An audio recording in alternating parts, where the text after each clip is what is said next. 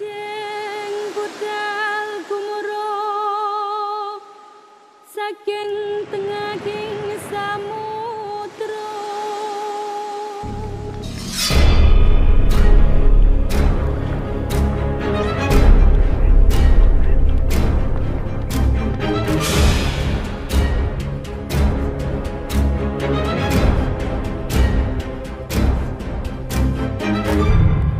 Assalamualaikum warahmatullahi wabarakatuh.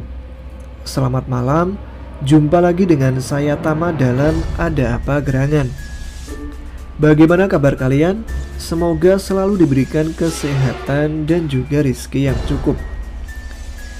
Episode Ada Apa Gerangan kali ini Saya akan melanjutkan cerita pendakian horor Bang Ube di Gunung Raung. Sebelum kita mulai ceritanya, mari terlebih dahulu kita berdoa agar tidak ada gangguan selama mendengarkan ataupun setelahnya. Oke, yang sudah menunggu kelanjutannya, mari kita simak cerita lengkapnya.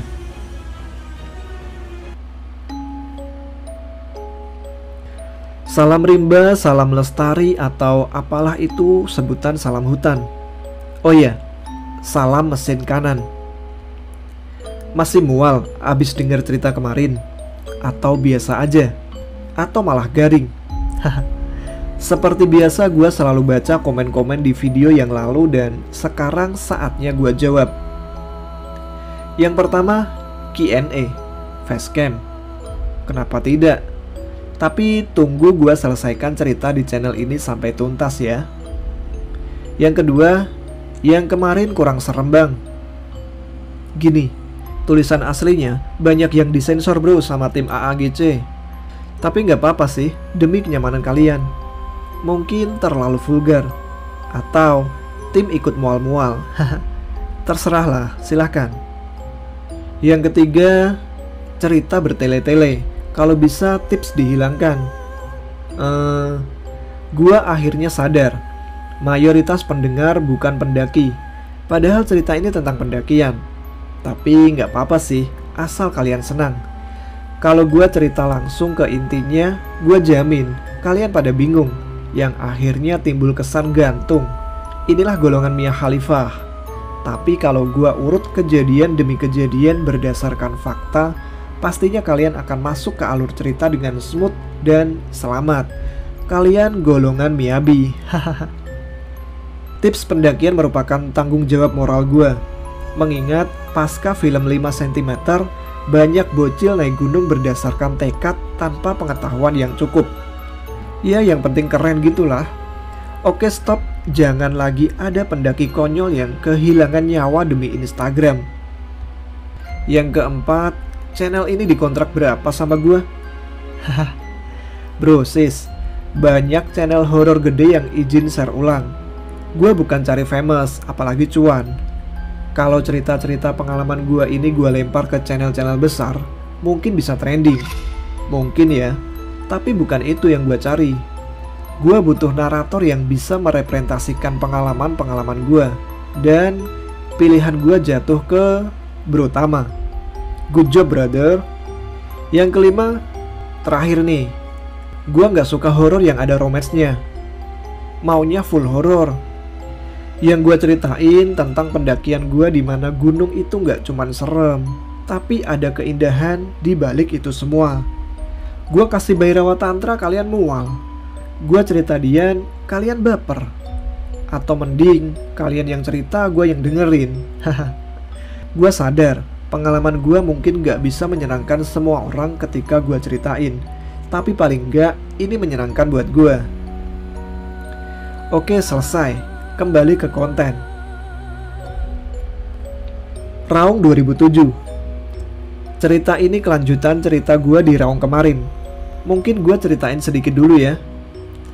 Setelah bangun dari mimpi, pagi itu di pondok angin Gunung Raung, setelah merenung liar dan menikmati sunrise, gue bersiap-siap turun. Dan singkatnya jam 1 siang, gue udah berada di base camp Sumber Waringin. Lalu gue menginap satu malam di base camp. Menjelang malam, gue nongkrong di luar base camp sambil menikmati suara binatang nokturnal dan mengobrol seru dengan orang-orang yang gua kenal. Mereka adalah tukang ojek setempat. Ada Pak Habibi, Warno, dan lain-lain. Esok paginya gua turun dan berangkat menuju gunung selanjutnya, yaitu Arjuno. Singkatnya jam 12-an siang, gua udah sampai Malang. Lalu ada panggilan masuk dari Martin, yang ternyata dia sedang bersama Doni sama Reza mereka berencana mendaki Raung dengan target puncak sejati via sumber Waringin. Posisi mereka saat ini masih di Cirebon, usai turun mendaki Ciremai. Lalu mereka pun mengajak gua buat ke Raung, dan tentu aja gua terima ajakan mereka. Padahal kan gua baru turun dari situ. Ya udahlah ya.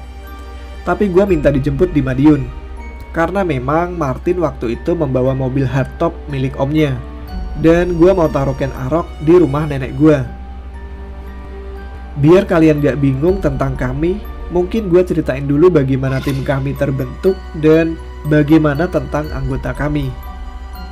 Dan sebenarnya dari awal kemarin memang cerita ini yang mau gue suguhkan kepada kalian. Mungkin lebih pas jika Bro Martin selaku Pak Ketu yang menyampaikan. Kepada Bro Martin, gue persilahkan mendalang ya.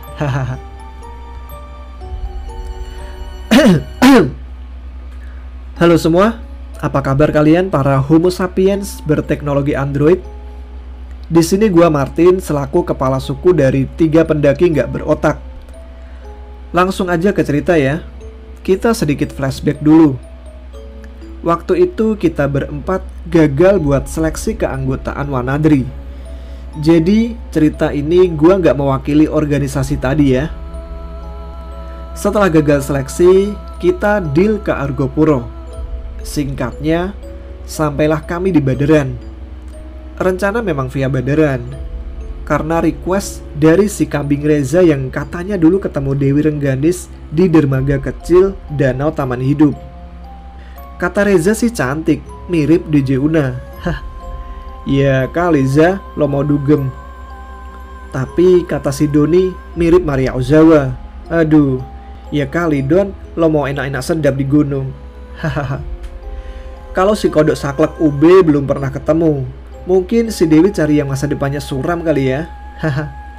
Sorry kalau bahasa gue begini.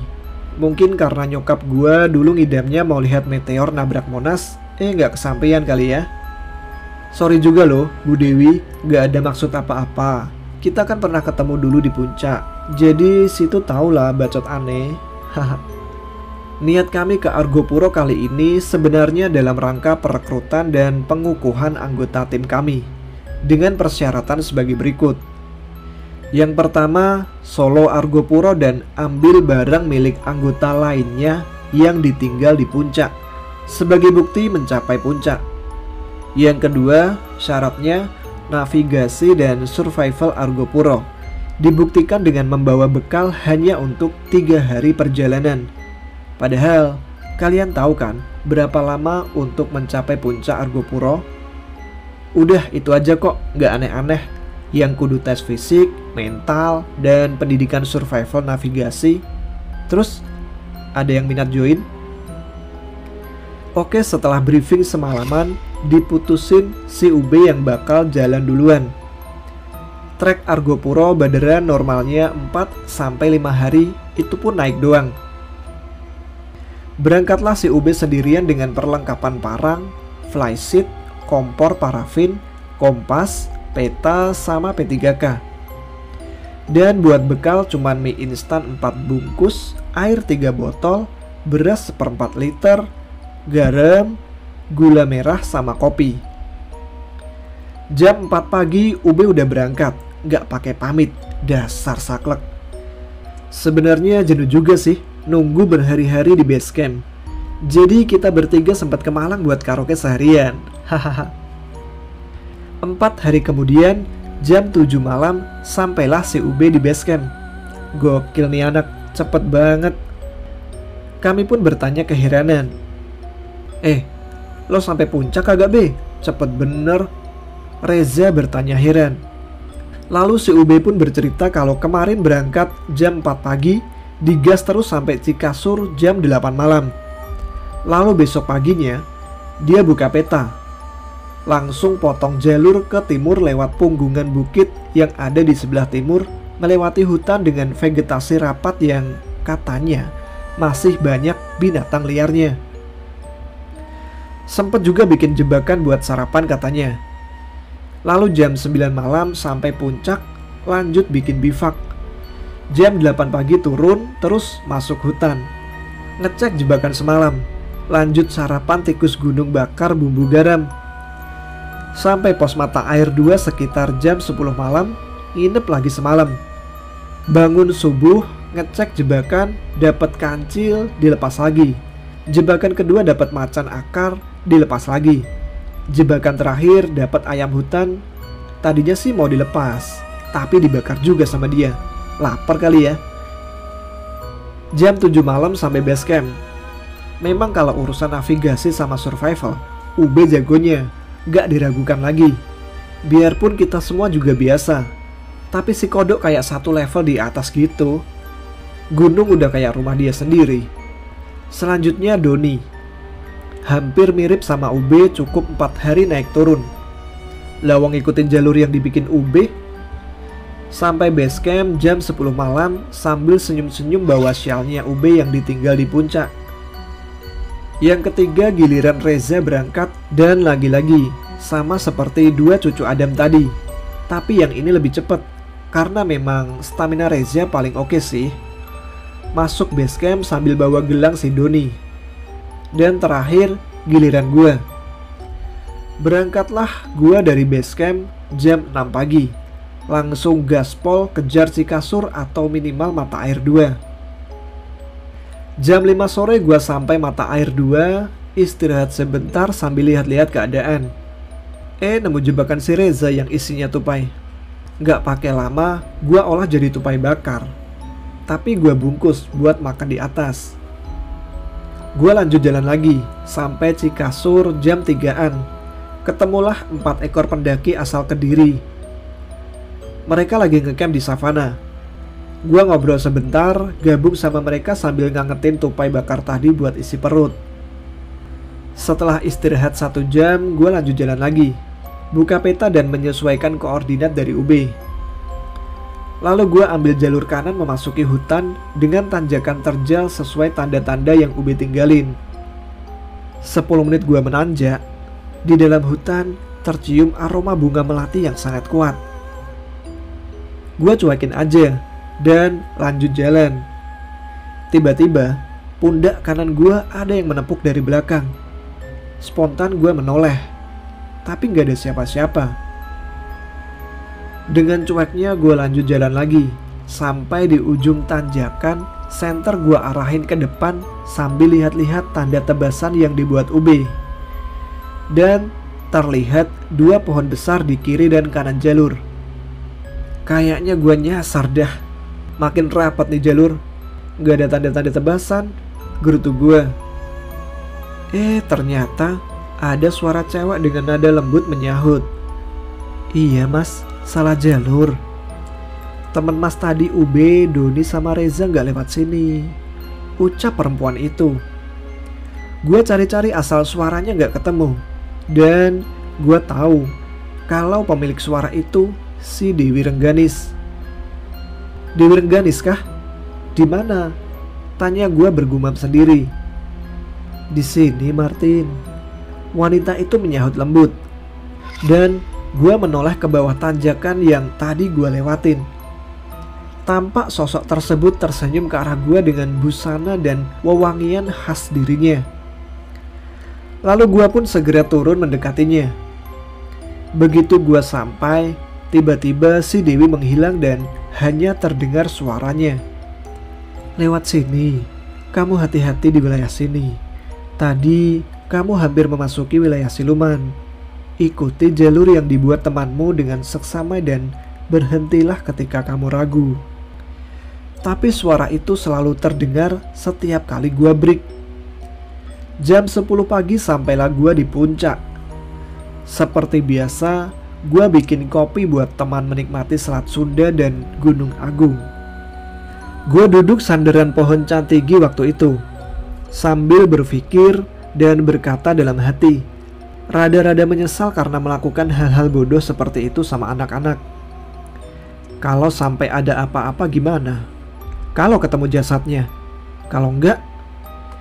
Tiba-tiba terdengar Dewi berkata, Lain kali, Boya dipikir-pikir lagi. Kamu jaga adik-adikmu mereka orang-orang yang bisa kamu percaya. Gak ada satupun di hati mereka meragukan keputusanmu. Ternyata memang benar, sang Dewi Rengganis sedang duduk di samping gua. Badannya menyender di pohon sama dengan gua. Kakinya diselonjorkan lurus ke depan dengan santai. Masih lengkap dengan kain jari dan busana khasnya. Dia tampak santai tetapi tetap memancarkan kecantikan alami tanpa make up, seperti homo sapien modern masa kini. Terlihat anggun dan elegan tetapi terasa akrab. Andai dia orang beneran, udah gua gotong ke KUA. Segeralah turun, sebentar lagi hujan. Berhati-hatilah dalam perjalanan turun. Ucap sang Dewi memberi peringatan, yang saat itu juga gua iakan karena memang gue nggak mau keujanan di perjalanan. Rasanya nggak enak bro, sumpah. Gue turun masih melalui jalur yang sama ketika gue naik. Dan benar saja, baru setengah jam berjalan memasuki hutan, menuruni tanjakan terjal, hujan mengguyur sangat deras disertai petir menggelegar. Sebelum hujan makin deras, gue ambil keputusan buat berhenti lalu mencari lokasi yang aman untuk mendirikan bivak dadakan. 5 menit gue mencari lokasi yang tepat hingga akhirnya gue menemukan cekungan batu sekitar 2 meter di bawah punggungan bukit. Gue menuruni punggungan bukit dengan hati-hati karena memang curam, licin, dan jurang yang dalam. Di mana gue yakin kalau jatuh ke situ, tim SAR pun kayaknya nggak bakal mau ambil resiko buat mengambil jasad gue. Tapi mau gimana lagi? Cuman dua pilihan buat gue. Pertama, mati tersapu dan diterjang badai. Yang kedua, memasuki cerukan bebatuan sedalam 3 meter yang di mana gue harus ekstra berhati-hati untuk menuju lokasi tersebut. Dengan resiko salah langkah sama dengan mendarat di dasar jurang, yang artinya mati tanpa jasad. Pilihan kedua adalah yang paling logis karena waktu itu nggak ada cap mantel, jadi flysheet gue pakai buat tali untuk menahan dan pegangan gue menuruni cekungan tersebut. Sampailah gue di cekungan batu tersebut dan gue cek keadaan di dalamnya. Takut kalau-kalau ini ternyata sarang binatang liar. Ternyata lumayan luas, dengan ukuran satu setengah meter dan kedalamannya dua setengah meter setinggi satu meter. Ya semacam gua mini lah dan pastinya aman. Gua segera masuk ke goa dan mulai menyalakan parafin buat penghangat. Ya walaupun durasi pembakaran hanya 15 menit per piece. Lumayan lah. Kondisi gua waktu itu setengah basah, tapi stamina dalam kondisi prima. Jadi nggak terlalu masalah. Gua meringkuk di dalam cekungan sambil berharap cuaca segera normal dan mulai berpikir caranya nanti gua naik lagi ke jalur punggungan bukit. Samar-samar terdengar tetesan air yang berarti ada rembesan air hujan yang masuk. Duh kacau, kalau sampai nggak kuat rembesan air, bisa longsor ini, ke kubur hidup-hidup gua. Gua pun bergeser ke dekat mulut cekungan dan akhirnya gua tertidur.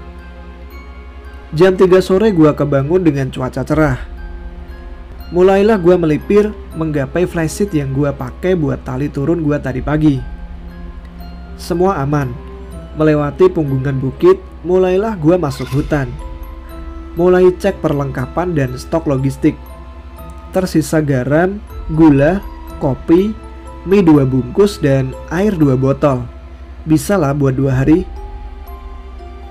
Menjelang maghrib, gue menyusuri hutan Sebenarnya hutan ini nggak panjang-panjang banget. Dua jam kalau naik, mungkin kalau turun bisa satu jam. Malah dengan stamina gue yang sekarang, mungkin bisa setengah jam. Tapi gue tetap harus waspada. Setelah jalur hutan terlewati, berganti dengan savana.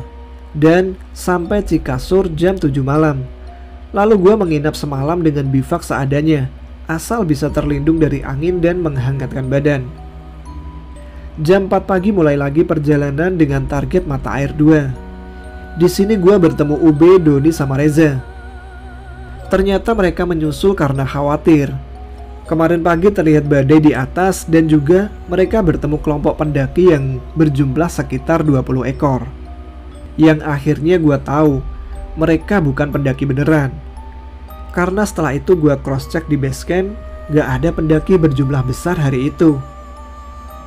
Realita yang sebenarnya, gak semua setan pendaki itu menyerupai pendaki yang sudah meninggal di gunung. Lucunya, Ube sama yang lain dari mata air satu jalan bareng sama mereka. Dan selesailah perekrutan anggota kami waktu itu. Oh iya, nama paranoid kepanjangan dari penikmat alam raya paranoid. Tercetus dari mulut Doni karena memang kami semua punya ketakutan masing-masing ketika mendaki Gunung Wilis. Kenapa? Karena nggak ada sosok sejenis Kunti dan selevelnya di sana. Di sana itu cuman ada siluman. Ube orangnya saklek, keras kepala, kelakuan mirip bolang, tapi nggak tahu kenapa semenjak pacaran sama Dian, dia jadi ke bawah feminim. Jadi nggak seagresif dulu. Tapi bagus lah bro, ada yang rem lo. Terlalu saklek juga bakal mempercepat kematian lo. Kalau Doni orangnya periang, orang yang bisa menertawakan diri sendiri dan kehidupannya, tapi baperan. Dan gak banyak loh orang yang bisa menertawakan kehidupan. Kalau Reza, dia smart, sedikit omong, tapi sekali ngomong pedes, nyelekit. Tapi itu sama orang yang belum kenal. Kalau udah kenal, nih orang kocak gak ketulungan. Setiap apa yang dia omongin tersirat. Oh iya, nih bocah otaku dengan komik favoritnya One Piece.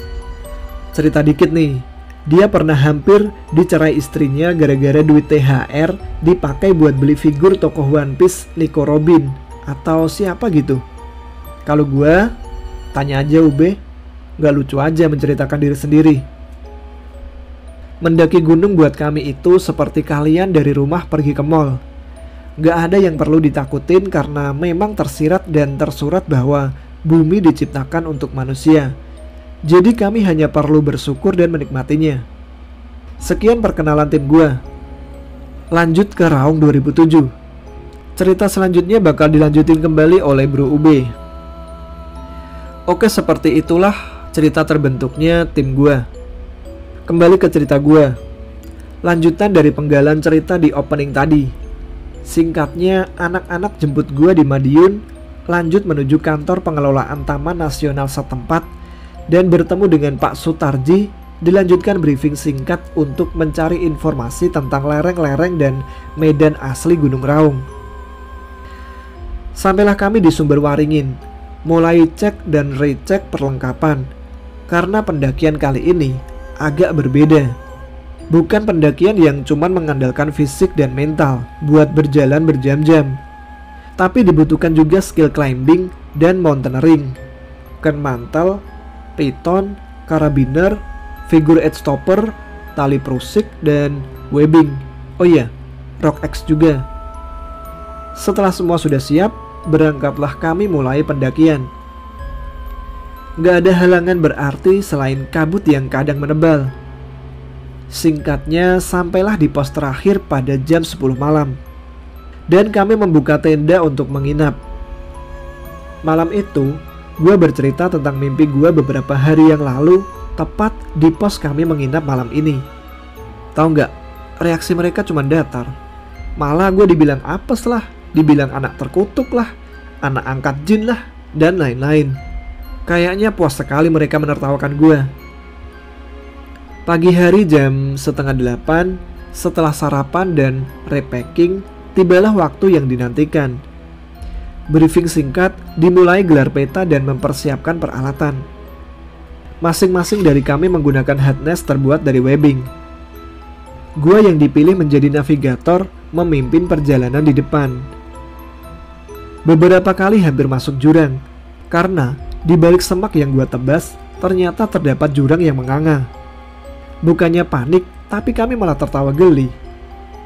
Sampailah kami di checkpoint lembah pertama, yang harus kami turuni dengan peralatan climbing. Reza mulai menuruni jurang vertikal sedalam 15 meteran di susul gua dan Doni. Martin terakhir sebagai anchor.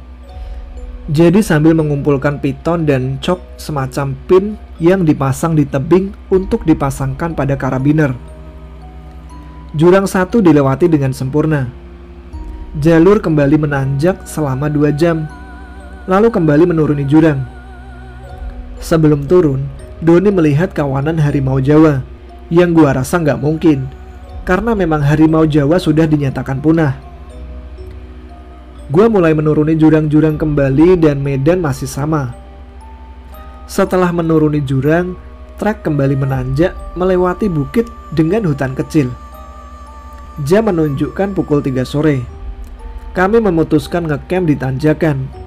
Memang sebenarnya susah dan agak nggak mungkin bikin tenda di tanah yang miring. Tapi ya mau gimana lagi? Karena jika buka tenda di dasar jurang, sangat beresiko banjir bandang. Gua sama Doni dapat tugas mencari air, kayu bakar dan mengecek kondisi area sekitar. B. Sumpah, tadi Gue lihat di dasar jurang ada macan empat ekor. Doni mulai cerita. Masa sih Don? Lo lihat macan apaan dulu nih? Macan kumbang sih masih mungkin. Kalau yang loreng bukannya udah punah? Tanya gue ke Doni. Macan loreng deh. Doni memastikan gue. Oke, kalau memang itu beneran macan Jawa, nanti pulang dari sini kita laporan ke Taman Nasional. Gimana? Belum juga Doni menjawab, dia melihat ada kakek-kakek memakai topi petani mengintip di balik pepohonan. B. Lo lihat kakek-kakek di sana nggak? Tanya Doni. Lah, apalagi Don? Tadi macan, sekarang kakek-kakek. Eh bener aja, nggak lama gue melihat nenek-nenek di sebelah Doni. Lalu gue bilang ke Doni, Don, di samping lo ada nenek-nenek tuh. Jawaban Doni ternyata nggak kalah santai. Iya be, tuh lo lihat banyak banget. Spontan gue melihat sekeliling dan bener aja ada banyak banget sosok-sosok manusia dengan bermacam usia dan kelamin mengelilingi kami seperti mengepung. Yuk be, balik ke tempat anak-anak, ajak Doni. Bentar Don, belum cari kayu buat tar malam. Jawab gue dengan slow. Dengan cuek, kami mengumpulkan kayu kering yang banyak bertebaran di bawah pohon. Sesekali, gue melihat orang jatuh dari pohon yang tinggi mendarat tepat di depan Doni. Berkali-kali juga Doni jatuh terjengkang ke belakang karena kaget. Gue yang melihat itu cuman ketawa ngakak gak berhenti-berhenti. Monyet lo be, malah ketawa, gerutu Doni.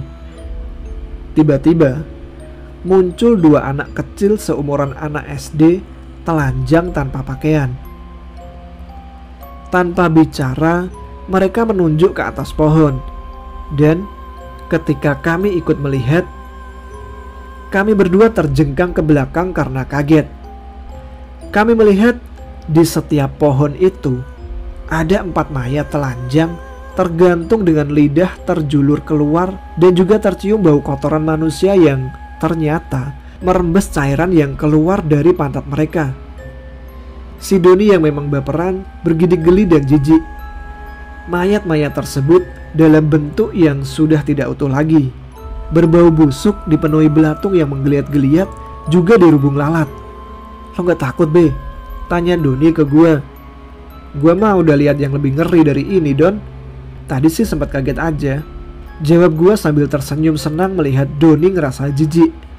Balik nyet, gue tinggalin loh. Aja gue yang dijawab dengan anggukan kepala. Sepanjang perjalanan menuju tempat Reza dan Martin, pemandangan di atas masih sama. Yang dipenuhi mayat dengan leher tergantung di setiap pohon. Sementara di sisi lain, lokasi tempat Martin sama Reza berada ternyata lebih ngeri. Zah, Reza, Tendang tuh kepala di bawah. Seru Martin kepada Reza yang dengan penuh emosi menendang potongan kepala yang ada di dekat kakinya. Eh Martin, ada kuntilanak di samping lo tuh. Teriak Reza ke Martin. Dan Martin lalu mengayunkan parang lalu membelah si kunti tersebut menjadi dua. 15 menit kemudian, sampailah gua sama Doni di lokasi camp kami. Gua melihat Reza sama Martin nafasnya ngos-ngosan sedang duduk beradu punggung. Doni pun lalu bertanya, Eh, lo pada habis ngapain ya ngos-ngosan gitu? Kompor pada berantakan. Abis homoan lu ya? Si anjing kalau ngomong gak tahu gue abis senam sama Martin. Sahut Reza. Anak monyet lo, Sembarangan aja. Kita berdua habis disamperin setan dari berbagai rasa sama varian ya. Sahut Martin sambil ngos-ngosan. Topping keju ada nggak Tin? Tanya Doni ngeledek. Tahu ah? Lama amat lo berdua. Ye, lo nggak tahu gue sama Obi diikutin apa? Sanggah Doni. Alah paling kuntilanak. Jawab Reza cepat. Tuh, lo lihat sendiri tuh. Sahut Doni sambil menunjuk ke atas pohon yang tentunya terlihat banyak mayat bergelantungan di setiap pohon. Anak kampret lo berdua, kemari bawa ginian, kata Martin pada gua sama Doni. Gua lalu jawab santai, Dih, siapa yang bawa? Orang mereka yang ngikutin? Eh, monyet satu, monyet dua. Sini, ada yang perlu gua omongin. Ucap Reza. Ini area nggak beres nyet. Kita nahan di sini apa pindah nih? Kayaknya ini malam kita nggak bakal bisa tidur pulas. Reza menjelaskan. Mau pindah ke mana PA? Ini udah gua sisir dari sore sama Doni. Kalau pindah ke jurang lebih resiko. Jawab gua. Iya nih, nggak keren banget. Tewas diterjang air bah dari atas. Lagian, sama-sama nggak bisa tidur. Mendingan di sini aja bro. Sahut Doni. Akhirnya hari itu diputuskan bertahan di lokasi tersebut dan kami tidur bergantian karena masih ada dua jurang lagi yang harus kami lewati. Jadi kondisi harus fit. Gua sama Reza kebagian duluan tidur. Oh iya, pemandangan di atas pohon masih tetap sama. Dihiasi banyak mayat tergelantung di lehernya yang sesekali jatuh ke tanah. Lagi-lagi gua bermimpi. Dalam mimpi gua, gua sedang berada di dasar jurang dua sendirian Lalu dari atas jurang ada sesuatu yang jatuh ke bawah dan menghantam keras bebatuan cadas di depan gua. Dengan penasaran gua mendekat untuk melihat benda apa itu. Ternyata tubuh manusia yang sudah hancur karena mendarat bertubrukan keras dengan batu cadas. Karena penasaran, gua pun melihat ke atas, tapi bukan puncak jurang yang gua lihat. Malah puluhan tubuh manusia berjatuhan dari atas jurang berhamburan ke bawah. Dasar jurang tempat gua berada sekarang mungkin lebih mirip tempat pembuangan mayat. Lalu terdengar sesuatu menghantam cadas dengan keras di samping gua. Yang ternyata itu adalah tubuh seorang anak kecil sekitar usia lima tahunan dengan kondisi kepala pecah dan otak berhamburan. Sebagian otaknya menyiprat ke wajah gua lima tulang rusuk bocah itu menembus dada kurusnya. Lalu di sebelah hutan tempat tenda kami berada, terlihat sosok mirip gendruwo sedang menggantung mayat pada sebuah pohon. Langit menjadi gelap yang seketika gue mendongak ke atas. Ternyata, langit sedang ditutupi ratusan burung bangkai yang siap menyantap mayat-mayat yang ada di dasar jurang. Burung-burung itu mencuili daging dari mayat tersebut secuil demi secuil hingga perut mereka sobek terbelah. Lalu seketika berkerumunlah burung-burung itu berebut isi jeruan manusia.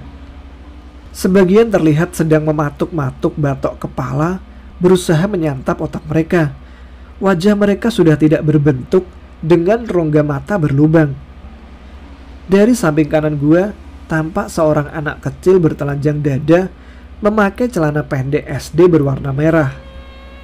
Dia terduduk dengan kedua lutut menempel di dagunya, sedang menangis terseduh-seduh.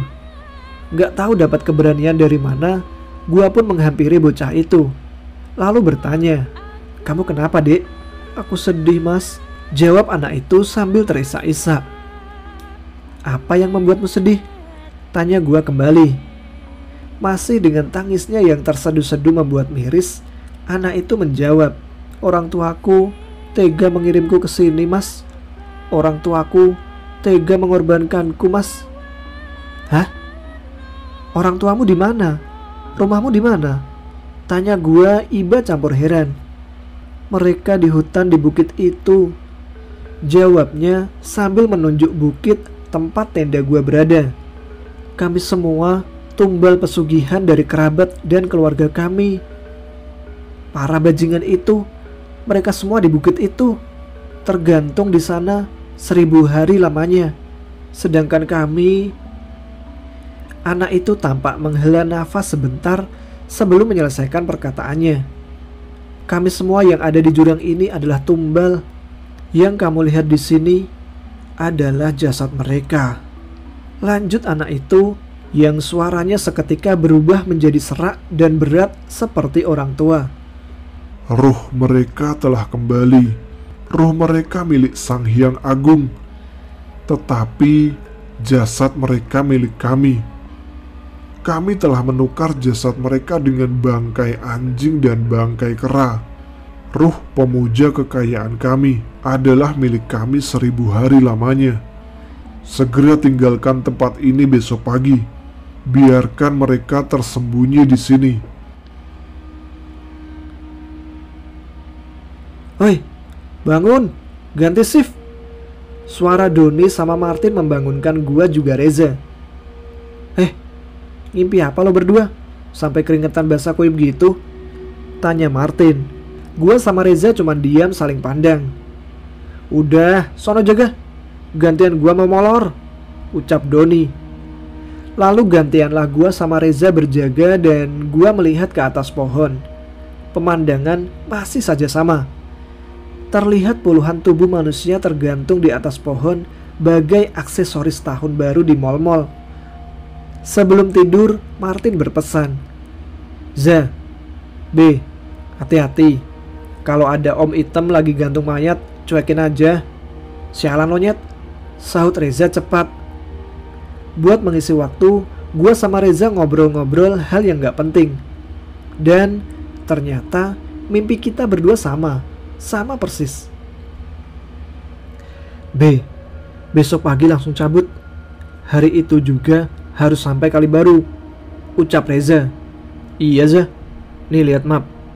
Perkiraan gua, sore kita bakal tembus jalur kali baru. Jawab gua sambil menunjukkan posisi kami di peta.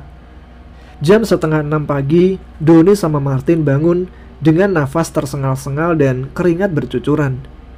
Yang ternyata, mimpi kami berempat sama persis. Setelah sarapan kornet ala kadarnya, kami pun bergegas melanjutkan perjalanan. Jurang 3 dan 4 terlewati sempurna berkat keterampilan Martin dan Doni dalam hal climbing. Tiga jam sebelum memasuki jalur kali baru, gua mendengar suara mata air di jarak 1 km arah bawah. Lalu kami putuskan ke mata air tersebut. Sebelum mata air, tidak jauh terdapat jebakan yang berisi burung yang hanya tinggal tulang belulang. Tanda sudah ada yang menjelajah area sini jauh sebelum kami. Tepat di mata air itu, terdapat tulisan dari susunan batu. Di sana tertulis Cokro Suseno 1903. Kami berempat dia mengheningkan cipta, berharap beliau dapat selamat pada tahun itu. Perjalanan kami lanjutkan dengan aman sampai puncak sejati raung tanpa halangan berarti. Hanya si Reza yang beberapa kali diganggu kuntilanak karena memang posisi dia berada di belakang. Dan kayaknya itu Kunti suka sama Reza. karena itu Kunti ngikut terus sampai pare kediri baru hilang. Selesailah penjelajahan raung kali ini. Setelah kita lulus sekolah, memasuki dunia dewasa satu persatu teman akan pergi sibuk dengan dunianya masing-masing. Hanya segelintir dari mereka yang masih sering bertemu, nongkrong bersama, dan mungkin melewati dunia dewasa ini bersama. Mereka adalah orang-orang yang menjadi saksi proses pendewasaan diri kita. Dan kita tanpa sadar menjadi saksi perjalanan menuju pendewasaan diri mereka. Yakinlah, jangan pernah tinggalkan mereka sesulit apa pun kehidupan mereka nanti. Karena hanya mereka yang mengerti diri kalian melebihi pasangan hidup kalian kelak. Raung 2007 Mungkin setelah ini gue vakum dulu satu atau dua minggu ya. Karena ada kerjaan di luar. Biasalah bro, kejar deadline. Sekalian memberi kesempatan buat penulis yang lain. Gue yakin, Bro Tama banyak dapat kiriman cerita yang pastinya menarik buat disimak.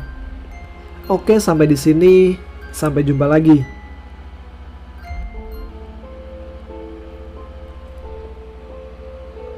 Terima kasih Bang Ube, Bang Martin, Bang Doni, dan Bang Reza untuk cerita kali ini. Untuk Bang Ube yang akan melakukan pekerjaan dinas, semoga dilancarkan pekerjaannya. Terima kasih buat kalian semua yang masih setia mendengarkan episode Ada Apa Gerangan kali ini. Salam kenal untuk yang pertama kali mendengarkan channel ini. Dan untuk yang ingin membagikan pengalaman horornya, bisa dikirim ke alamat email yang saya sertakan di deskripsi. Bagi yang tidak ingin ketinggalan episode selanjutnya, silahkan subscribe dan aktifkan notifikasi. Jangan lupa ramaikan juga kolom komentar ya. Baiklah sampai di sini dulu.